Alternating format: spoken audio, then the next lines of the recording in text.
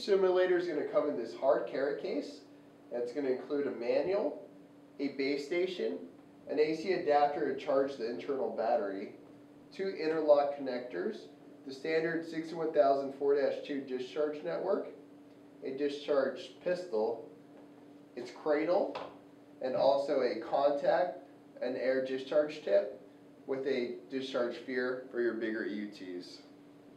Now I'm going to install the ground cable onto the back of the base station.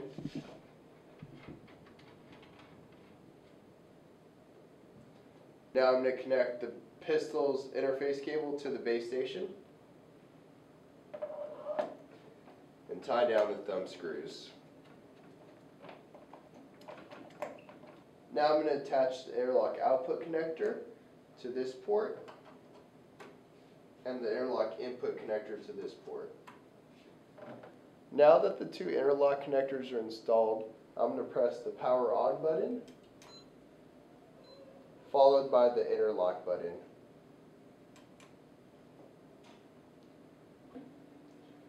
As soon as the self-calibration is complete, the home screen will be displayed. From here you can manually change certain settings such as output voltage, which I'm going to show you guys how to do that right now. I'm going to select 15 kV, press this button, and type in 30 to change the output to 30,000 volts. I can also change the counter by pressing the local button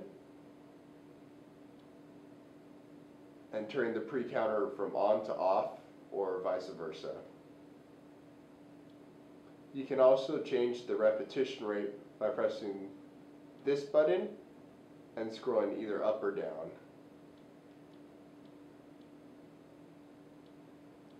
I'm going to leave it at 20 Hertz.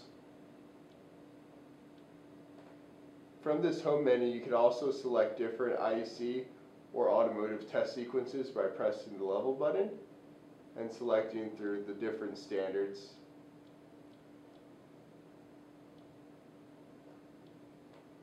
For our example, I'm going to show you guys a test on a computer board at 30,000 volts. Now that I set the simulator to output 30,000 volts and I have the air discharge tip installed, I'm actually going to show you guys what it looks like on a simulated EUT. I'm going to show you guys how that looks like on a board which I already grounded. What I'm going to do is pull down the trigger and slowly lower the pistol until you see arcing.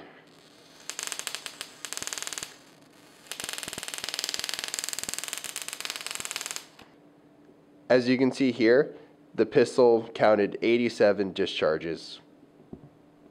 Next, I'm going to show you guys how to change out the air discharge tip for the contact discharge tip and also switch the 61000 4-2 network to one of the automotive networks.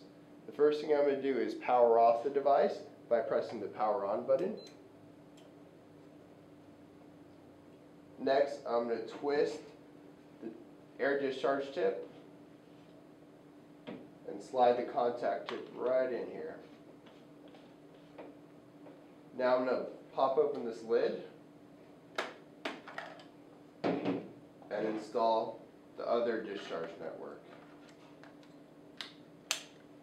Here's actually one of the ways we calibrate our ESD simulators. Right here you have a Faraday cage with an ESD target installed, an attenuator, and a really fast oscilloscope. Currently our NSG 438 is set to discharge 20 times at 20 times per second.